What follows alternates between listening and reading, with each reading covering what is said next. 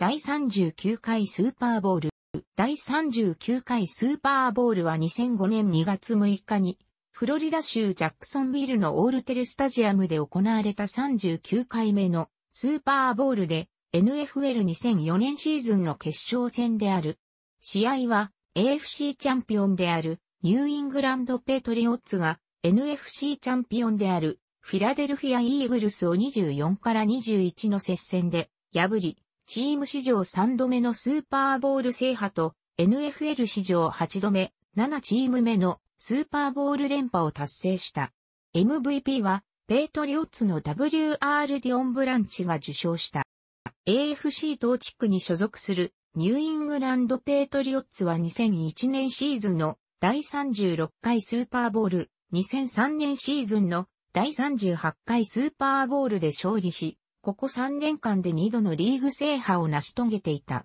スーパーボール連覇を目指したこのシーズンはオフにシンシナティベンガルズから RB コーリー・ディロンをドラフト二巡指名権とのトレードで獲得した。ディロンは1997年シーズンから6シーズン連続で1000ヤード以上のラッシュを記録し、プロボールにも3度選出されていたが2003年シーズンは怪我もあってキャリア最低の541ヤードに終わり、30歳という年齢もあり、獲得には懸念の声もあった。ドラフトでは2つの一巡指名権で、DT ビンス・ウィル・フォークとテ・ベンジャミン・ワトソンを獲得。目立った主力の放出もなく、チームはスーパーボールを制覇した戦力を保つことに成功した。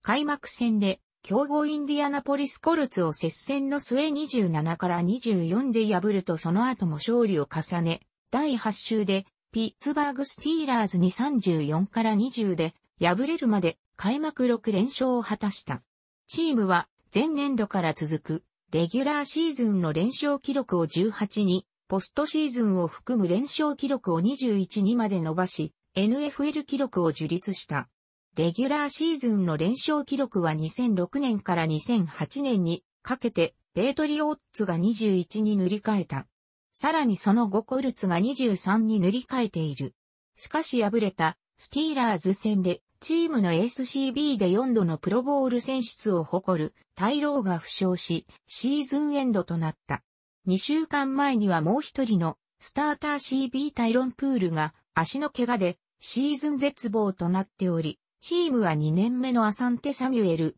ドラフト外ルーキーで、シーズン最初の3試合は出番がなった、ランドールゲー、本来はセーフティーで、キャリア5年間で3試合しかプレーしたことのない、アースウィンドモアランドなどに頼らざるを得なかった。第9週のセントルイスラムズ戦では、アサンテ・サミュエルが怪我で一時試合から離れ、代わりに、ベテラン WR のトロイ・ブラウンが CB としてプレーした。サミュエルはこの試合中に復帰したが、ブラウンはその後も3番手、CB としてプレーを続けた。試合は、LB マイク・ブレーベルが TD パスキャッチを K アダム・ビナテーリが FG 体系から TD パスを決めるなどして40から22で完勝を収めた。その後もチームは順調に勝利を重ね、14勝2敗でシーズンを終えた。オフェンスでは RB コーリー・ディロンがチームのフランチャイズ記録となるランセイン635ヤードを獲得 12TD を上げ4度目のプロボールに選出された。QB ブレイディはパス3692ヤード 28TDQB レーティング92.6という活躍で2001年シーズン以来となる自身2度目のプロボールに選出された。ディロンとブレイディの活躍もありオフェンスは得点でリーグ4位、獲得ヤードでは7位とリーグトップクラスの成績を収めた。一方ディフェンスでは、スターター CB の離脱もあって、パスディフェンスはリーグ17位と苦戦した。しかしベテラン S ロドニー・ハリソンがチームトップの96タックルを記録し、ディフェンスを引き、長ともう一人の S ユージン・ウィルソンがチームトップの 4INT を記録するなど二人のセーフティが経験不足の CB 陣を補った。また本来 WR であるトロイ・ブラウンがチーム2位タイの 3INT を記録すなど、ペートリオッツはリーグ7位タイの 20INT を奪った。また LB、ウィリー・マクギネストがチームトップの9.5サックを記録するなど合わせて4人の選手が5サック以上を記録し、チームでリーグ3位タイの45個のサックを記録した。さらに、失点の少なさでは、リーグ2位、ヤードでは、リーグ9位と前シーズンに引き続いて、ディフェンスがトップクラスの成績を収め、ハリソンがオールプロに、LB テディブルースキがプロボールとオールプロに、で、リチャード・シーモアがプロボールに選出された。NFC 等地区に所属するフィラデルフィア・イーグルスは1999年シーズンから指揮を取る HC アンディリードと2000年シーズンからスターターとして定着したキュービードノバンマクナブの下で前年、ズンまで4年連続でプレーオフに進出、さらに3年連続で NFC チャンピオンシップゲームに進出していたが、いずれもスーパーボール進出には届かなかった。オフに、チームはサンフランシスコ 49ers で3度のプロボールに選出された WR テレル・オーウェンス、テネシータイタンズで3シーズン連続で10サック以上を記録するなど3度のプロボール選出現を持つジェボン、カース、2度のプロボール選手と経験を持つ元イーグルスの LB ジェレミア・トロッターを獲得した。開幕戦のニューヨークジャイアンツでは、新加入の WR オーウェンスがいきなり 3TD を上げる活躍を見せるなど31から17で勝利し、その後第9週で、ピッツバーグスティーラーズに27から3で敗れるまで、幕7連勝を果たした。その後も、順調に勝利を重ねたが、第15週のダラスカウボーイズ戦で、オーウェンスがエスロイ・ウィリアムスのフォースからアタックルを受け足首を負傷した。試合には勝利したがオーエンスは残り試合を欠場した。チームは13勝3敗でレギュラーシーズンを終え、第1シードでプレーオフに進出した。QB マクナブはパス3875ヤード31、TDQB レーティング104.7、ランでは220ヤード 3TD という素晴らしい成績を収め NFC 最優秀攻撃選手に選出され、5シーズン連続となるプロボールにも選出された。マクナブは 10INT 未満で 30TD パス以上を決めた NFL 史上初の QB となった。WR オーウェンスは77キャッチ1200ヤード 14TD でプロボールとオールプロに選出され、RB ブライアン・ウエストブルックがランでは812ヤード 3TD、パスでは73キャッチ703ヤード 6TD という活躍を見せ自身初のプロボールに出された。イーグルスはランをリーグ31位の376回しかプレーせず、そのためランオフェンスはリーグ24位だったが、パスオフェンスはリーグ7位、オフェンス全体では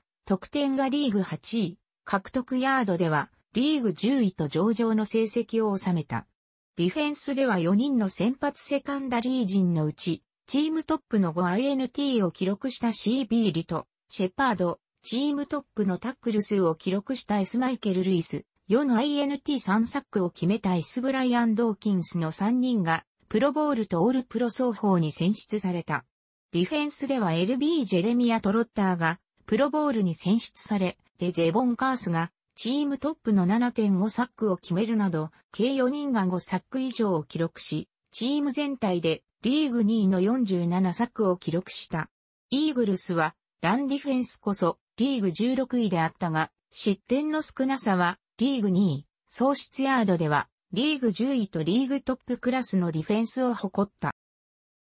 AFC 第2シードのペイトリオッツは、ディビジョナルプレーオフで、インディアナポリスコルツと対戦した。このシーズン、コルツの QB ペイトン・マニングは、当時の NFL 記録である 49TD パス、2007年シーズンに、ブレーディが 50TD パスの新記録を、樹立と、歴代最高の QB レーティング121.1を記録し、さらにマービン・ハリソン、レジー・ウェイン、ブランドン・ストークリーの3人の WR が1000ヤード、10TD 以上を達成した。また RB エジャーリン・ジョームスがランでは1548ヤード 9TD、パスでは51キャッチ483ヤードを記録するなど、コルツはマニングと多彩なタレント陣を中心にレギュラーシーズンでリーグトップの522得点を奪っていた。しかしペイトリオッツは二人のスターター CB に加え、プロボールに選出されたデリチャド・シーマーを怪我で欠いたにも、かかわらず、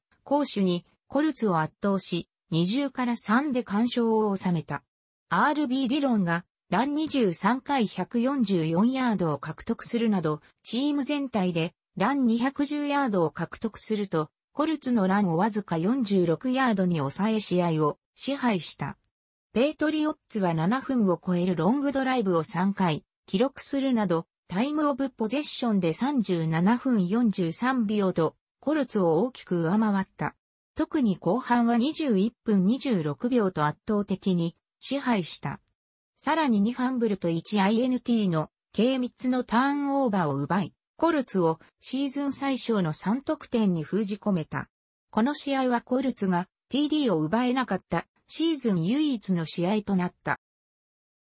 続く AFC チャンピオンシップゲームでは、敵地ハインツフィールドでレギュラーシーズンで敗れたピッツバーグスティーラーズと対戦した。スティーラーズは QB ベン・ロスリスバーガーがルーキー QB としては NFL 記録となる14連勝を果たすなど15勝1敗という NFL 史上2位タイの好成績を収め、レギュラーシーズンでは第8週と第9週に当時無敗だったペイトリオッツとイーグルスに初黒星をつけていた。しかしペイトリオッツは第1 Q から早々に主導権を握る。S. ユージン・ウィルソンがロスリスバーガーのこの試合最初のパスで INT を奪うと、 K ビナティエリが48ヤードの FG を決め先制点を挙げ、続くスティーラーズのドライブでは、RB ジェローム・ベティスファンブルし、ペイトリオッツがリカバー、すぐ後のプレーで、ブレーディがブランチに60ヤードの TD パスを通しリードを10点に広げた。その後もブレーディが安定したプレーでオフェンスを展開すると、レギュラーシーズンは怪我に悩まされた WR ディオンブランチがランとパスの双方でビッグプレーを S ロドニー・ハリソンがインターセプトリターン TD を決めるなどしてリーグ最小失点のディフェンスを誇るスティーラーズから41点を奪い41から27で勝利した。41失点はスティーラーズのシーズン最多失点となった。ペイトリオッツが2年連続5度目のスーパーボール進出を決めた。NFC 第1シードのイーグルスは、ディビジョナルプレーオフでミネソタバイキングスと対戦した。バイキングスは QB ダンテカルペッパーが 39TD パスを決めるなど、リーグトップクラスのオフェンスを誇っていたが、イーグルスは序盤にマクナブが2本の TD パスを決め主導権を握ると、その後はカルペッパーから2つの INT を奪うなどして試合を支配し27から14で勝利した。イーグルスは、バイキングスの WR ランディモスを3キャッチ51ヤードに抑え、バイキングスは7度のペナルティで、計108ヤードの罰退を受けるなど試合をコントロールできなかった。4年連続の出場となった NFC チャンピオンシップゲームでは QB マイケル・ヴィック擁するアトランタ・ファルコンズと対戦した。このシーズン、QB ビッグはパスで2313ヤード 14TD、ランで902ヤード 3TD を上げる活躍を見せ、プロボールに選出されていた。また RB はリック・ランが1106ヤード 9TD、TJ ダケットが509ヤード 8TD を記録するなどファルンズはリーグトップのランオフェンスを誇っていた。イーグルスは最初のドライブで敵陣まで攻め込むが、フォースダウンで FG 体系からパスを狙うも失敗し無得点に終わった。しかしその後は安定してリードを奪い、一時は4点差に詰め寄られるが、第4球に突き放し27から10で勝利した。イーグルスは QB ビッグをラン4回26ヤード、RB 弾をラン15回59ヤードとファルコンズのランオフェンスを99ヤードに抑えた。マクナブはプレーオフ2試合を INT なしの安定したプレーでチームの勝利に貢献した。オーウェンスは2試合とも欠場したが、チームのスーパーボール出場を信じ、リハビリを続けた。イーグルスが24年ぶり2度目のスーパーボール進出を決めた。イーグルスの WR オーウェンスは怪我は感知していないもののスーパーボールでプレーすることを明言した。ペイトリオッツは OC チャーリー・ワイスが2005年シーズンからノートルダム大学で H に就任することが決定しており、また DC、ロメオ・クレネルもクリーブランド・ブラウンズへの HC 就任が噂されていた。スーパーボウル後にブラウンズと正式に契約した。ペイトリオッツはスーパーボウルに通算5回出場した8番目のチームとなった。それまでに達成していたのはダラスカウボーイズ、デンバーブロンコス、ピッツバーグスティーラーズ、サンフランシスコ 49ers、マイアミドルフィンズ、ワシントンレッドスキンズ、オークランドレーダーズである。イーグルスの WR フレディ・ミッチェルは ESPN のインタビューにおいて主力を欠くペイトリオッツの CB 陣を番号は知っているが、選手の名前は知らないと挑発的な発言をした。これに対してハードヒッターとして知られる S ロドニー・ハリソンなど、ペイトリオッツの多くのプレイヤーが反応し、ミッチェルに苦言を呈した。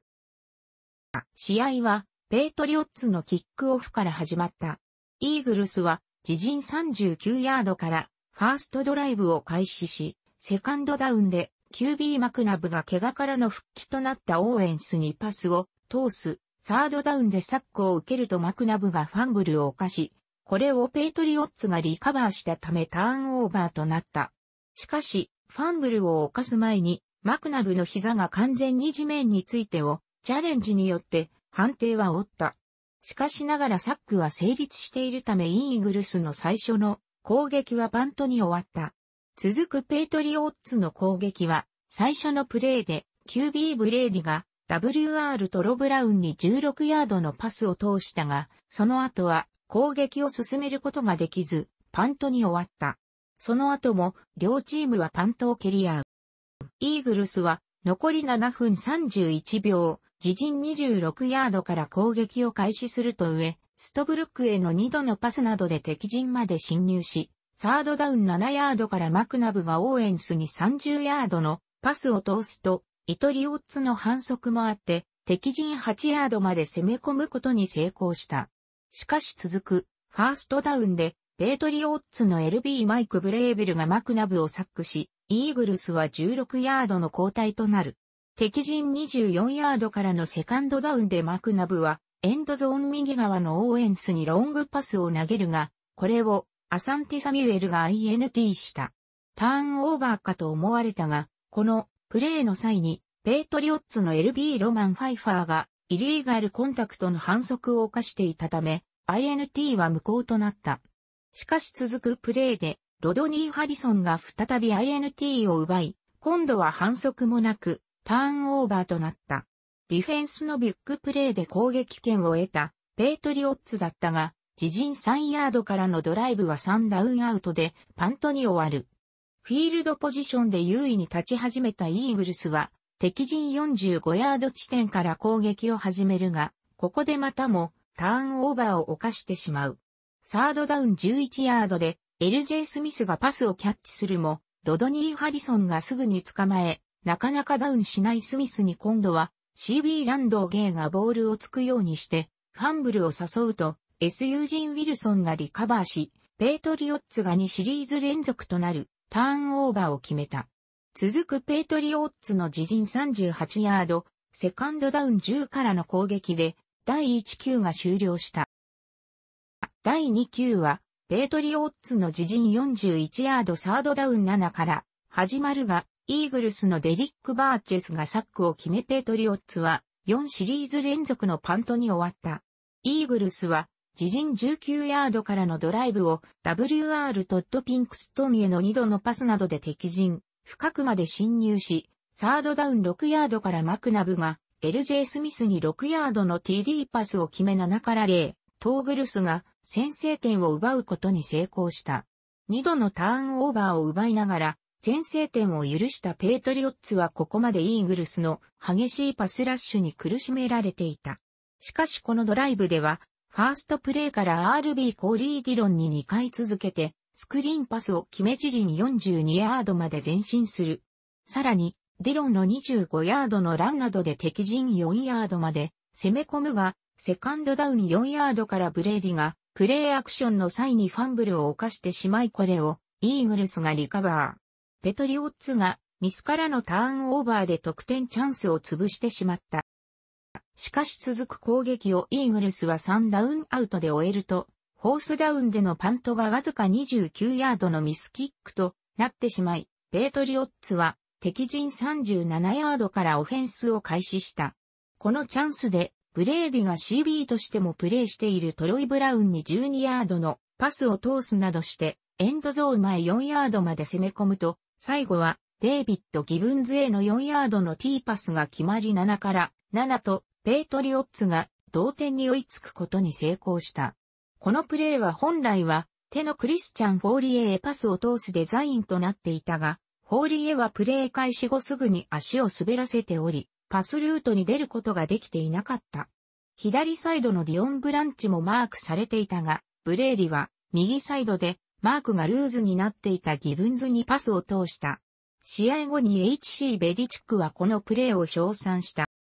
試合時間は残り1分10秒となったが、続くキックオフでペートリオッツは SU ジン・ウィルソンが負傷してしまう。結局ウィルソンは試合中に復帰することはできなかった代わりには、ルーキーの S デクスターリードが入ったが、これでペートリオッツはロドニー・ハリソンを除いて、セカンダリー陣が全員が控え選手という事態に陥った。残り1分3秒からのイーグルスの攻撃は得点には至らず、第2球が終了した。前半はトータルヤードなどのスタッツに大きな差はなかったが、ペートリオッツはディフェンスにおいて普段ベーシックな隊形として使用している3から4ではなく、LB を減らして DL を増やした4から3を採用していた。また普段は DE として起用されるリチャード・シーモアとジャービス・グリーンを DT として普段はアウトサイドの LB として起用されている Wii マクギネスととルーズベルト・コルビンを DE として起用した。これは、イーグルスのキュービードのバンマクナブの機動力を警戒してのもので、重量級の DT を外して、スピードのある選手を DL に起用ることで、マクナブの QB スクランブルやランプレーを封じる狙いであった。これが功を奏したのかペートリオッツは前半に3度のサックを浴びせ、QB スクランブルは1回のゲイン、サックとして記録されているに封じ込めた。後半はイーグルスのキックオフから始まった。ペートリオッツは最初のプレーでディオン・ブランチに8ヤードのパスを通すと、その後もブランチに27ヤード、15ヤード、21ヤードのパスを通して敵陣深くまで侵入していく。最後はプレーアクションから本来は LB であるマイク、ブレーベルへの2ヤードの TD パスが決まり、ペートリオッツが後半最初のドライブで14から7とこの試合初めてのリードを奪うことに成功した。その後は両チーム1回ずつパントを蹴り合い、イーグルスは後半2度目のドライブで得点チャンスを得る。マクナブからオーエンスやグレッグ・ルイスへのパス、RB ウエストブルックの活躍などで敵陣10ヤードまでテンポよく進んでいくと、残り3分39秒でマクナブからウエストブルックへの10度の TD パスが通りイーグルスが14から14の同点に追いつくことに成功した。ペートリオッツは続くドライブを WR へのパスや RB ケビンフォークへのスクリーンパスなどで進めていき、敵陣36ヤードからランプレーを行ったところで第3球が終了した。第4球はペートリオッツの敵陣28ヤードセカンドダウン2ヤードから始まった。なおこの試合は両チームのスコアが同点で第4 Q に突入したスーパーボール史上初の試合になった。ペートリオッツはケビン・フォークのランとスクリーンパスからのゲインで敵陣2ヤードまで攻め込むと最後はコーリー・ディロンの2ヤードの TD ランが決まり21から14と再びリードを奪うこと成功した。イーグルスは続く攻撃を3ダウンアウトでのパントで終え、ペートリオッツは敵陣からドライブを開始した。ファーストダウンでのランプレーは3ヤードのロスに終わるが、セカンドダウンでブレーディからディオン・ブランチへの19ヤードのパスが通り FG 圏内に侵入すると、ラフィング・ザ・パサーの反則もあって一気に敵陣16ヤードまで侵入した。このキャッチは、ブランチのこの日11回目のパスレシーブとなり、スーパーボール史上最多パスレシーブ記録に並んだ。その後、エンドゾーン前4ヤードまで攻め込むが、TD は奪えず、FG に終わった。しかし K アダム・ビナティエリが22ヤードの FG をしっかりと決め、24から14と、ペイトリオッツがリードをこの試合最大の10点に広げることに成功した。これ以上離されたくないイーグルスは、セカンドダウンで、オーエンスに36ヤードのパスが、通り敵陣36ヤードまで前進する。オーエンスは、パスキャッチ後の見事なスピンムーブで CB を振り切り、ビッグゲインを生んだ。しかし次のプレーで、QB マクナブがこの日二つ目の INT を LB テディ・ブルースキに喫してしまい、痛恨のターンオーバーで得点チャンスを潰してしまった。攻撃権を得たペイトリオッツだったがこのドライブは3、ダウンアウトに終わり、3シリーズぶりのパントとなった。試合時間残り5分40秒、自陣26ヤードからのイーグルスのドライブはサンドサード、ダウンに追い込まれるが、オーエンスのスーパーキャッチなどで乗り切り敵陣30ヤードまで前進していく。そして、セカンドダウン10ヤードからマクナブが、グレッグ・ルイスに30ヤードの TD パスを決めイーグルが24から21とその差を3.2まで縮めた。ルイスについていたのは、ユージン・ウィルソンの負傷で代わりに入ったデクスター・リードであったが、ルイスのスピードについていけず、TD を許してしまう。試合時間は残り1分48秒となり、イーグルスは再び攻撃権を得るためキックオフでのオンサイドキックを狙った。しかしボールはペートリオッツの手クリスチャン・フォーリエがキャッチし、オンイードキックは失敗に終わった。ペートリオッツはフォーリエを除いてほぼ全員がイーグルスのカバーチームをしっかりとブロックし、キックもほぼ正面に来たためフォーリエが危なげなくキャッシュした。リードしているペートリオッツはランプレーを2回続け、イーグルスは2度タイムアウトをコールし3つのタイムアウトをすべて使い切った。サードダウン5ヤードからのランはノーゲインに終わったが、ペートリオッツは時間を十分に使ってからタイムアウトをコールし、パントを蹴った。P. ジョシュ・ミラーのパントは素晴らしいキックとなり、イーグルスは自陣4ヤードからの攻撃となった。試合時間残り46秒、タイムアウトなしという追い込まれた状況でのイーグルスのドライブは、サードダウン9ヤード、ペートリオッツの S ロドニー・ハリソンのこの日2つ目のインターセプトで幕を閉じ、最後はペートリオッツの QB トム、ブレーディのニーダウンで試合が終了した。ペートリオッツが2年連続、チーム史上3度目のスーパーボール制覇を成し遂げた。ペートリオッツはこの勝利で2001年シーズン、2003年シーズンに続き4年間で3度目のスーパーボール制覇となった。これは1992年シーズン、1993年シーズン、1995年シーズンを制覇したダラスカウボーイズに続いて史上2度目のことであった。また3試合すべてが3点差での勝利であり、これはスーパーボール史上初のことであった。この勝利でチームは、ペートリオッツダイナスティ、ペートリオッツ王朝を築き上げたと言われた。イーグルスの QB ドノバン・マグナブは、パス51回中30回成功357ヤード、3TD を記録したが、3つの INT と4度のサックを喫した。警戒されたランでは1回ノーゲインにとどまった。ブレーディは1つのファンブルを犯したが、パス33回中23回成功236ヤードに TD の成績を収め、MVP を獲得した過去2度のスーパーボールよりも高い QB レーティングを記録した。この勝利でブレーディは、テリー・ブラッドショー、ジョー・モンタナ、トロイ・エークマンに次いで、スーパーボールを3度制覇した、史上4人目の QB となった。またブレーディは、スーパーボール3度制覇を成し遂げた、史上最年少 QB となった。さらにブレーディは、テリー・ブラッドショー、ジョー・モンタナ、ジョン・エルウェイに次いで、異なる3度のスーパーボールで TD パスを決めた、史上4人目の QB となった。また、キャリア最初の5年間で3度のスーパーボール制覇を達成した QB は、NFL 史上ブレーディただ一人である。ペートリオッツの WR ディオンブランチは11キャッチ、スーパーボール史上最多タイ記録133ヤードで、この試合のリーディングレシーバーとなり、この活躍で、スーパーボール MVP に選ばれた。イーグルスの WR テレル・オーウェンスは9キャッチ122ヤードでチームのリーディングレシーバーとなったが、両者とも TD はなかった。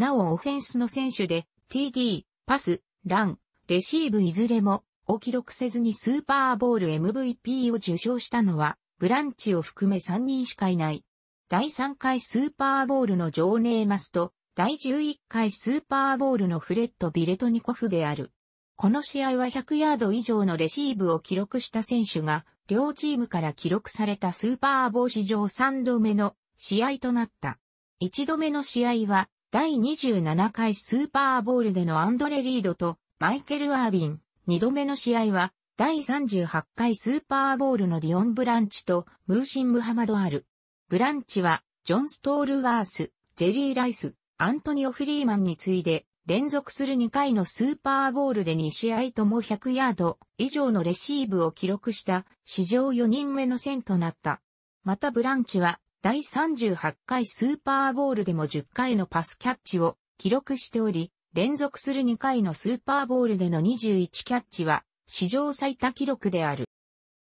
ペイトリオッツの WR デイビッド・ギブンズと LB マイク・ブレーベルは連続する2回のスーパーボールで2試合とも TD を上げた史上14人目と15人目の選手となった。またこの2人は連続する2回のスーパーボールで2試合とも TD キャッチを記録した史上7人目と8人目の選手となった。ペイトリオッツの RB コーリー・ディロンはラン18回75ヤード 1TD でこの試合リーディングラッシャーとなった。イーグルスの RB ブライアン・ウェストブルックはラン15回44ヤードで、チームのリーディングラッシャーとなった。またパスではディロンが3キャッチ31ヤード、ウエストブルックが6キャッチ70ヤード 1TD を記録した。ペートリオッツの RB ケビン・フォークはラン8回38ヤード、パスでは2キャッチ27ヤードを記録した。試合前の言動で注目を集めたフレディ・ミッチェルは1キャッチ11ヤードに終わった。試合後、ミッチェルとシーハンク・フラリーがマクナブのプレーを批判した。このシーズンのペイトリオッツはスーパーボールを含むポストシーズンでの一連のパフォーマンスなどが評価され NFL.com から00年代最高のチームに選出された。楽しくご覧になりましたら購読と良いです。クリックしてください。